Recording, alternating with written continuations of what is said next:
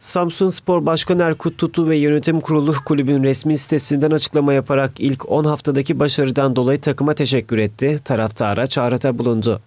Yönetim kurulu imzasıyla yapılan açıklamada şu ifadelere yer verildi. Futbol takımımız sakatlık ve cezalardan dolayı daralan futbolcu kadrosuna rağmen şampiyonluk yolunda emin adımlarla ilerliyor. Takım değeri olarak kendisinden kat kat yüksek takımlara karşı mücadele eden futbolcularımız sezona son 20 yılın en iyi başlangıcını yapmıştır. Futbolcusundan teknik adamına, masöründen malzemecisine göstermiş oldukları performans için teşekkür ediyoruz. Takımımız şu anda lider. Biz sezon sonunda şampiyon olacağımıza ve Süper Lig'e çıkacağımıza inanıyoruz. Bize bu inancı veren güç, yağmur, çamur, yaz, kış demeden armamızın peşinden giden takımımızı destekleyen taraftarımızın varlığıdır. Ancak bizi hiçbir zaman yalnız bırakmayan siz değerli taraftarlarımıza bu meşakkatli yolda bundan sonra daha büyük görevler düşüyor.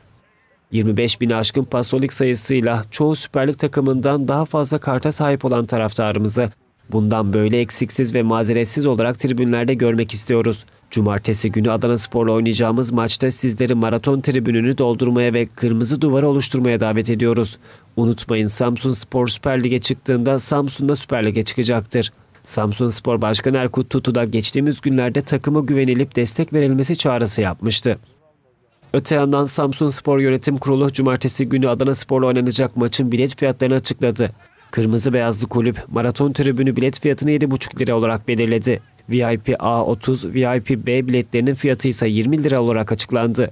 Kale arkası tribünleri için bile satışı yapılmıyor. Kardemir Karabük Spor maçında yaşananlardan sonra Profesyonel Futbol Disiplin Kurulu o karşılaşmada maratonda yer alan seyircilere kartlarının bloke edilmesi ve Adana Spor mücadelesinde tribüne giriş yasağı getirmişti. Bu nedenle tüm taraftarın maratonda olması için kale arkası tribünlerde bilet satışı yapılmıyor.